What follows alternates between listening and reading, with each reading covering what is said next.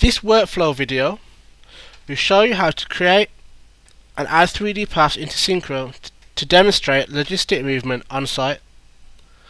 3D paths can be added in Synchro to add movement of vehicles to cranes, as shown here.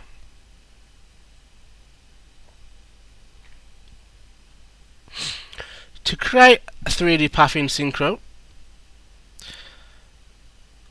if you right click in your 3D window, go to create, then 3D path, double left click to create your first point, and so on for your second point, and so on for your third point. Once you've finished creating your 3D path, if you right click, this wizard will come up, name your 3D path, then press OK.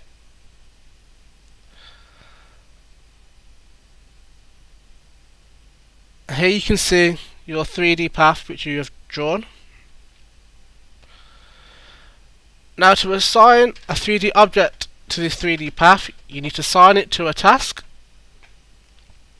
Then once you've done that assign your 3D path to your object.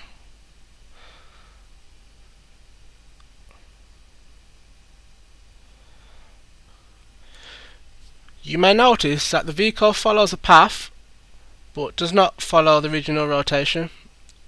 In order to change this, if we go to 3D Path Properties, go to the keyframe list, if we right click, then click Share Directions from the selected row to Task by all tangents.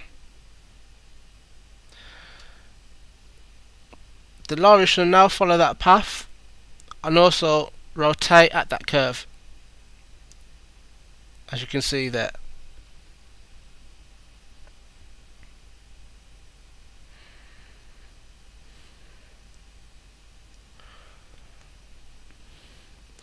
If we just play that again, the vehicle will now follow that path during this task.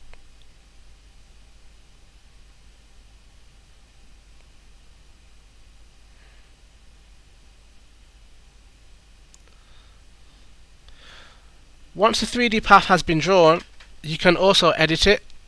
So if we go to keyframe here and toggle between each keyframe, you can choose which keyframe you want to edit, go, then go to edit, and then you should get this manipulator to come up. Now if you move it to its new desired position, then press capture keyframe, it will save that position. We do it again for keyframe 5. If we move it, then press capture keyframe, it will save that position.